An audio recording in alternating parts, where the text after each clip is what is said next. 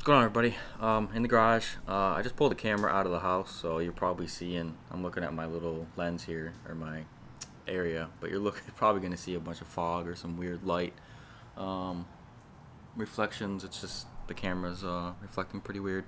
So, what I wanted to go over today was what's happened since um, I made this announcement. Uh, these videos are going to be a little sporadic. I'm, I'm learning myself again. So uh, they're going to be a little sporadic and not going to be a constant daily up, did not daily, but a constant uh, videos as I go through processes and wait for things to come in.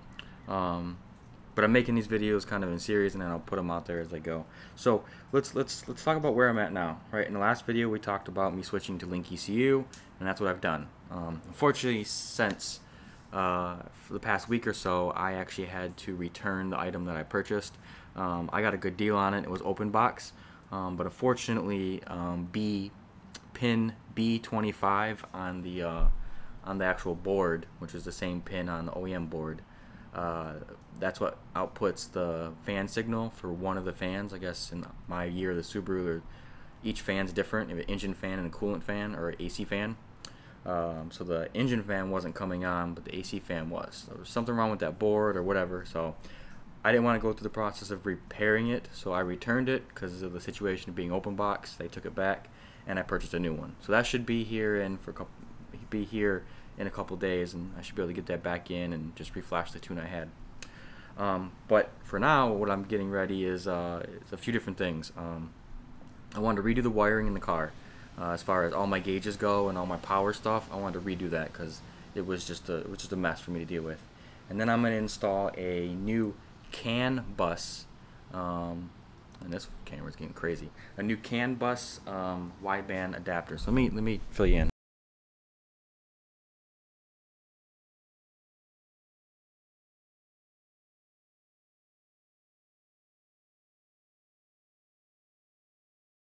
Alright, so car is kind of tore apart and uh yeah this is an interesting like glow that this uh okay so up here was where my wire mess was. I've cleaned it up a whole lot compared to what it used to be. So uh, be nice what you do see.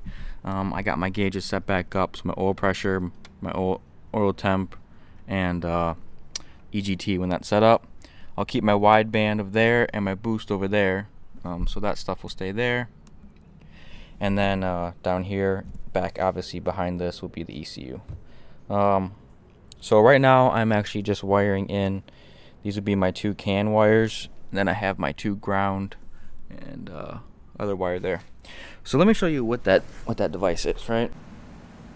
Okay I went back and swapped out um, it is hot in Florida. I went back and swapped out to a different lens so this one be better. So again back to the wideband sensor. We all know what this guy is. This is what I'm installing. Um, I currently have a wideband sensor installed, an AEM uh, wideband, excuse me, hooked up to the um, flashlight. Wide the flashlight out. So uh, the uh, wideband's hooked up to the downpipe, um, and that's where it's been forever. That's what I've always done my tuning on. So with this Link ECU system, I had to go and purchase something called a uh, a CAN Lambda. So that's what this is, G4 CAN Lambda. Um, basically CAN being the connection type and Lambda obviously being air-fuel ratio. Um, and I have to hook it up. So along with this whole setup here, right, you have to get this cable here. So this cable here, this side hooks up into the ECU. Um, and then this is the standard connection type. I don't really know much about it. I don't know if this is a standard um, connection for um, it's like a twist you twist it here it then pops off so you have all the pins inside hopefully the focus is not on my face um, let me lower the brightness down. So this is what you would normally get. So this connection here is what's going to make uh, everything work. So hook up ECU hook up to the other side wire. These wires are then going to run to the um, this wire here is going to run to the uh, device. And that device is this lovely guy right here. So CAN Lambda link. Basically it's kind of just like the um, uh, ethanol sensor you know device you have to mount to your car and then you get your two plugs right you get your oxygen sensor plug which is pretty normal and then you get your CAN plug, which I guess this this certain plug right here is pretty standard. So basically, that's what that's what I'm doing. That's what's going on. Um, I uh, I have to get this new item hooked up and um, installed before that Link ECU actually comes in. Uh, the downside with this is I actually have to do some wiring, some pinning that I've never actually done. So you have this little guide here and all these different pins that I have to solder.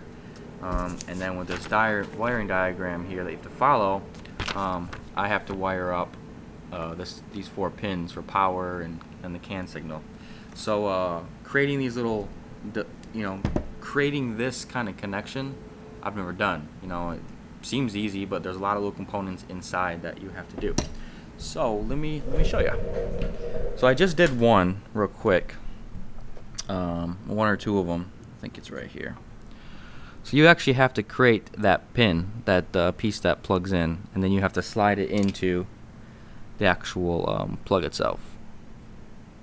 So this is what I'm actually gonna do. That's what I'm trying to do right now. So um, I guess I'll, I'll write a I'll do a video of that because it's actually pretty nice to know because it took me a while to figure it out.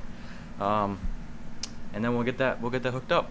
It's uh it's a process. Um, it's gonna be a little annoying. Um, the reason I had to do this, that's probably a good thing to go over. So I had to get this CAN lambda here, um, mainly because with a standalone ECU, right, uh, the ECU itself is now going to use a wideband to control everything when it comes to your fueling.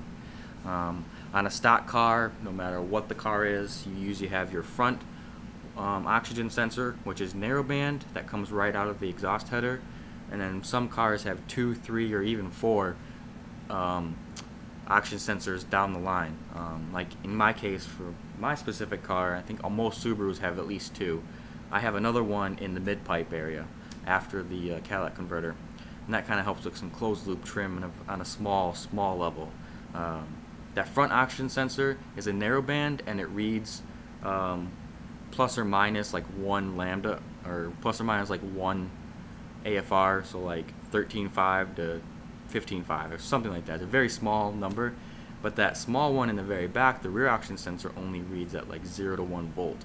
So it, all it looks at is to see are you richer or are you leaner than 14.7 and makes adjustments. It doesn't care about the number.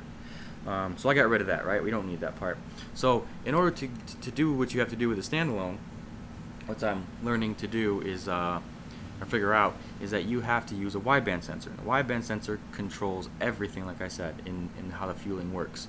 So where the car would use that, that narrow front band, the standalone, stock ECU would use that front na narrow band, the uh, standalone is going to use a wideband where you install it.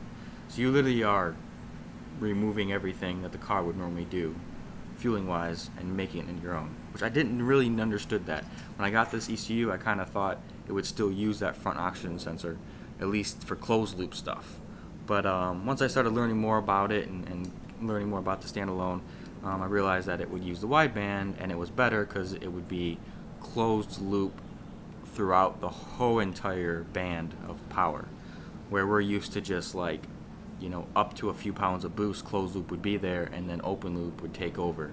Um, and then you'd just be on your own controlling fuel.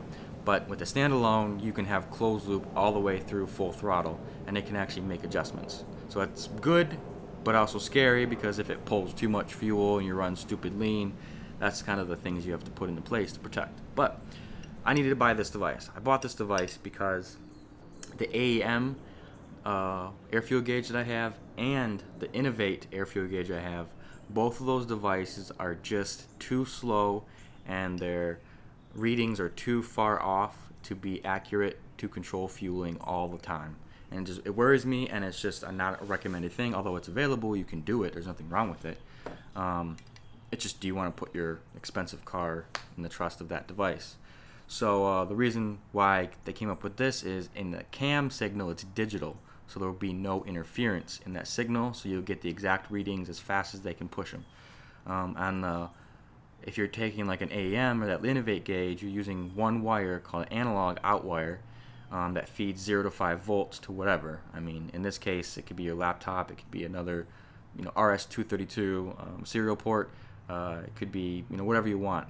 In this case, the ECU will take in that, that 0 to 5 volt analog and then you just give it a calibration table, which all manufacturers of wide bands give you a table to calibrate with, um, and then it reads from there. But unfortunately, that that there's a delay. There's you know it's not accurate. In my case, it's off by 0.3. So where I'm supposed to be sitting at, let's say 14.7, I'm actually the uh, gauge reads 14.7, but the ECU is seeing 15 or 14.4. So that's that's not good enough for me. So this device is supposed to take care of that and make things much better. It was expensive.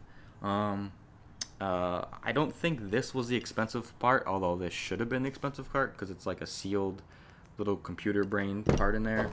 I think this is what got expensive, just the wideband. These widebands go for 60, 70 bucks maybe on Amazon, brand new for a Bosch 4.9. I think they're trying to, they sell these for like 180 bucks. Um, and unfortunately, you have to buy their branded kit, which comes with this device. Um, it's not just a third-party kit or anything. It's an actual Link ECU kit. But um, it's okay. Uh, I did pay a lot more for the ECU, and I did pay a lot for this device. But um, the reason I went with Link is because of their support and the huge community behind it. And their support has been amazing. I will tell you, it's been very simple. Um, I've even talked to some of the local techs that work here in the United States for the device, this being a New Zealand ECU. Um, and I'm probably talking like crazy fast right now. Got everything in my head, but um, they they were just great to call call up directly. No work, no middleman to go through or something. You just call this direct number, and the guy's like, "Hey, if you got a problem with it, send it to me. I'll take a look at it for you." So yeah, here we go. Um, I'm gonna show you how to actually pin one of those wires, just so people can see it, um, in case you have to do it, and then uh, we'll talk a little bit more about what I'm doing.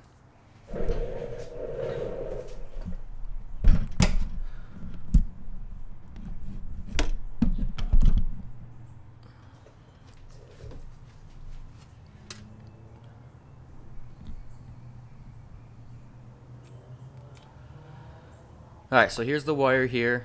Um, hopefully you can see it. I don't want to uh, zoom in too much with it. You got your typical um, wire uh, snippers with your stripper here. Just going to pull a little bit off that wire. We're going to wind it up. Twist the wire a little bit. And then you're going to grab your clip. This is the clip I was telling you about here. Um, these wings that you see are what are going to fold down. And this device here is what's going to crimp it. So I'm going to try my best to uh, to show you how this works. So in this case we're just going to uh, slide the wire inside. And you basically want to get that in this case this yellow part just into that first clip. And then you have all these different notches right so I'm going to go for that circle notch on the top and I'm going to start bending the wire. So we'll put it inside. I'll crimp down a little bit and I'll start bending it. And I, of course, dropped the uh, pin.